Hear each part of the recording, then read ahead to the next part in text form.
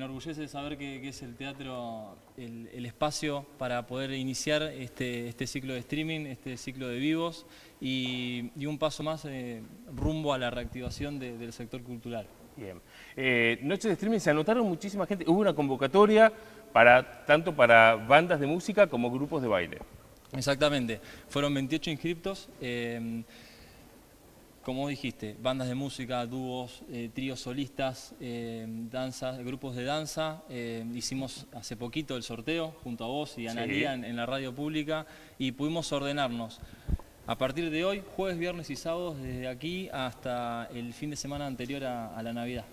Bien, perfecto. Entonces casi hasta fin de diciembre tenemos ocupado con la posibilidad de hacerlo. ¿Por qué se eligió el teatro? ¿Por un tema de espacio? Por un tema de espacio, para cumplir protocolos, una cuestión técnica, el, sabemos, todos estamos compartiendo este, este lugar y es un, lugar espacioso. El teatro desde el 18 de marzo ininterrumpidamente tuvo actividad, por decirlo de alguna manera. Al principio fue el comité de crisis, contamos con una sala que, que en contexto normal pueden, puede albergar 450 personas. Entonces, era el, lugar ideal, desde el día uno fue el lugar ideal para hacer siempre eh, reuniones, ¿sí? Eh, manteniendo las distancias. Bueno, cuando, cuando surgió la posibilidad de hacer el, ciclo de streaming, el candidato fue el teatro. Lucía, ¿cómo estás? ¿Todo bien?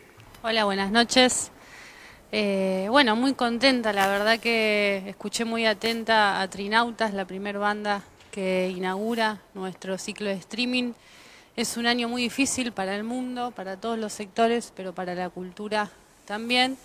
Pero, de todos modos, todos estos, es todo este tiempo, todo este año, la cultura fue lo que nos sostuvo, ¿no? El arte. Entonces me parece que de a poco, de menos a más, hay que ir pensando nuevos modos, ¿no? Porque estamos en un mundo totalmente nuevo y hay que pensar nuevas formas, nuevos modos de trabajar. Eh, y la verdad que escuchar a los chicos tan contentos me emociona un montón.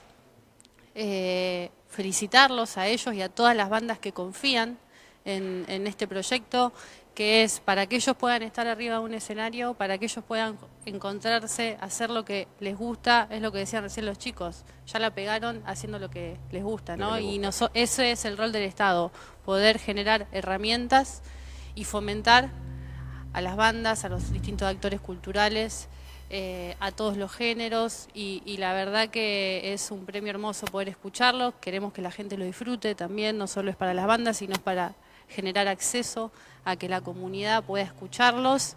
Y agradecer, agradecer a todo el personal que está hace mucho tiempo trabajando en esto, a Francisco Dinova, a todo el personal del teatro, a vos, a todo el personal de prensa, a todos los técnicos y más que nada a todos los que se anotaron también, porque es esto, si cumplimos con los protocolos, si nos cuidamos y en comunidad hacemos las cosas bien, de a poco las cosas se van a poder ir abriendo un poco más. Claro, de a poco y ojalá falte muy poco para que los distintos espectáculos musicales o los distintos actores culturales puedan estar en las calles, ¿no?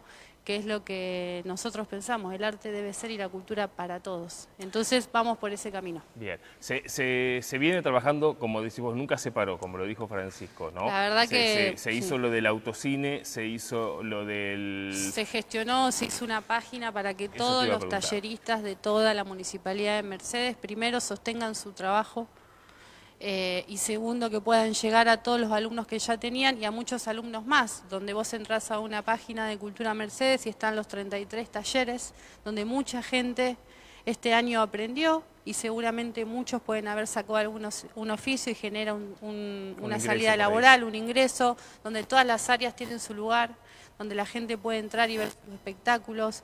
Estuvimos trabajando también eh, con todo lo que son las personas que tuvieron COVID, de, teleseguidores, teleoperadores, que también nosotros cuando pensamos el arte, en la cultura, no es solamente estar en los espacios, ¿no? sino trabajar en conjunto eh, con toda la comunidad y como nos marca nuestro intendente.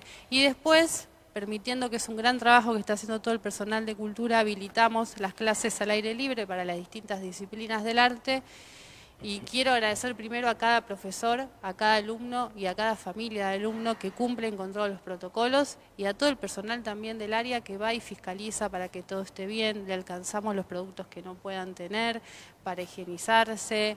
Eh, y bueno, y, y, siempre agradeciendo también a nuestro intendente, que es el primero que todos los días nos pide que estemos a la altura de la circunstancia, que nos pidió que hagamos esto, que nos pide todo el tiempo que trabajemos con la comunidad para generar nuevas, nuevos proyectos, porque el Estado solo no puede, cuando nosotros decimos Mercedes Ciudad de Todos y que lo hacemos entre todos es así. Ahora estamos haciendo un ciclo de streaming con bandas, con el personal del teatro, y se vendrán nuevos proyectos, se vendrán nuevas formas, pero lo más importante creo que es cuidarnos y entender esta nueva lógica para ir abordando distintas cosas. Así que de mi parte, felicitaciones a la banda, a todas las bandas y que sea un éxito.